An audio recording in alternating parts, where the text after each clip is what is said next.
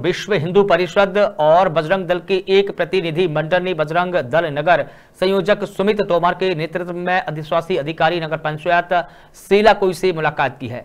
प्रतिनिधि मंडल के सदस्यों ने अधिशासी अधिकारी से मुलाकात कर मीट की, दुकानों को बंद करवाने की मांग की है।